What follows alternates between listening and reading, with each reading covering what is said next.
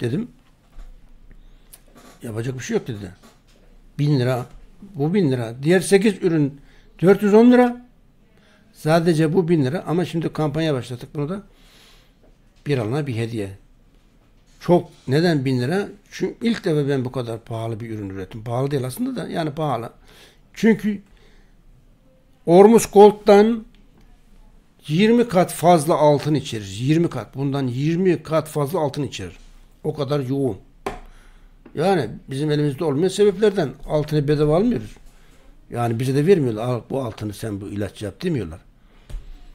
O kadar yoğun altın kullanıyoruz.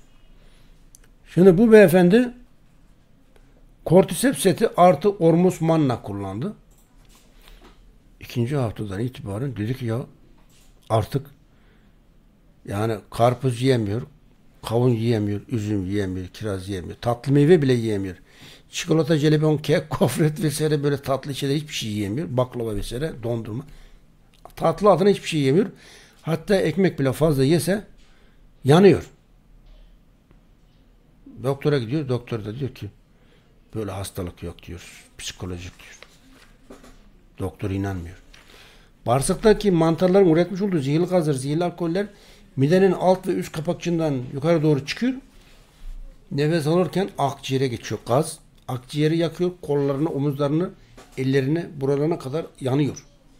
Asit damarlarında akciğerinde ve damarlarında asit geziyormuş gibi. Öyle bir rahatsızlık. Perişan oluyor. İkinci, üçüncü haftada bizim ürünleri kullandıktan sonra aradı beni ya. Arada sırada fazla yemek yiyorum ama artık yakalanmadım. Bu rahatsızlık geçti mi acaba? Nasıl oldu bu iş falan dedi. Evet geçti geçti. Sorun yok dedim. Çok şükür geçti. Panik yok. Devam edebilirsin. Adamcağız korkusundan günde bir öğün yemek yiyor. Sabah hafif bir şeyler atıştırıyor. Yani o acıyı çekmemek için diyet üstüne diyet yapıyordu. Ha, bu süreci ne hızlandırır? CDS2 hızlandırıyor.